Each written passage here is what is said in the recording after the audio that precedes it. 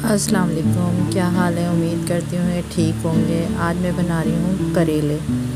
करेलों की रेसिपी मैं आपको बताने जा रही हूँ, जो कि मेरे तरीके से आप बनाएँगे तो कभी भी कड़वे नहीं बने। ये इनको अच्छे से कट करना है, फिर वॉश करना है, फिर नमक लगाना है, फिर रखना है। ये सब मैं आपको पूरी वीडियो देखें, फिर बताती जाऊँगी स्टेप बाय स्टेप। ये देखें, मैं ये छिलके उतार रही हूँ सारे।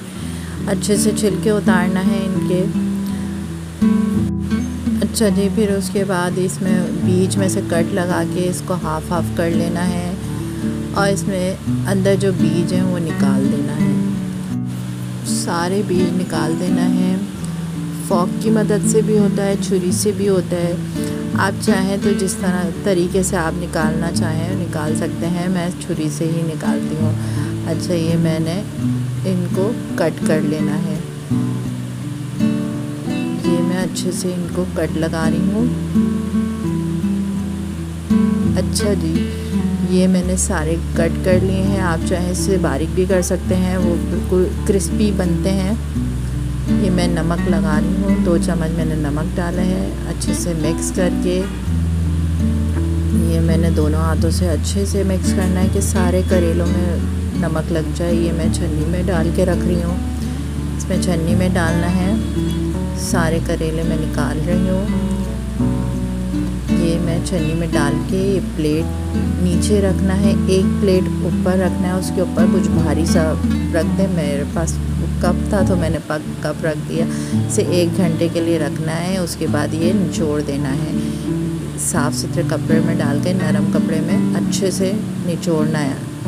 सबसे मेन चीज़ ही ये है कि अच्छे से निचोड़ें क्योंकि इसमें नमक है, वो कड़वाहट दूर करता है, ये निचोड़ के बिल्कुल कड़वाहट निकल जाती है। देखें, ये पानी निकाल देना है। और नीचे रख प्लेट ज़रूर रखनी है, क्योंकि पानी होता है, निकलता है, आप छन्नी में ही रखिएगा। वैसे अदरवाइज़ और कोई बर्तन नहीं, क्योंकि फिर पानी ही निकलेगा ही नहीं करवाहट ही नहीं निकलेगी। अच्छे से निचोड़ना है कपड़े में। ये देखिए मैं थोड़े थोड़े करके जितने आप कर सकें अपने हाथों से एक दफ़ा में, उतने करने हैं। ये मैंने दो तीन दफ़ा करके उसके बाद ये मैं वॉश करने लगी हूँ। ये मैंने निचोड़ दिए अब मैं ये वॉश कर रही हूँ क्योंकि इसमें बहुत सारा नमक लगा हुआ है। दिए से वॉश करना लाजमी है। ये मैं वॉश कर रही हूँ अच्छे से। दबा दबा के इसे वॉश करना है ताकि इसमें जो नमक है वो बिल्कुल निकल जाए। अच्छा अब दोबारा इसको मैंने कपड़े को धो लिया था, उसके बाद ये मैंने दोबारा करेले डाले हैं, इसमें इसका सारा पानी मैं निकाल दूँगी। वैसे तो कड़वाहट निकल ही चुकी है, जो मैंने वॉश किया था, ये उसका पानी है।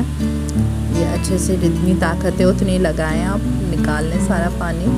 अब इनको मैं फ्राई करने लगूँगी। ये मैंने थोड़ा सा ऑयल डाला है, अपने हिसाब से ऑयल डालें, जितना आप करेलों में चाहें ऑयल डालें फ्राई पैन में। अब मैं ये करेले इसमें फ्राई करूँगी। ये सारे करेले मैं इसमें डाल लूँगी। इनको मैं फ्राई करूँगी अच्छे से। अच्छे से मिक्स करना है, तेज़ आँच पे ही ये सारा काम करना है।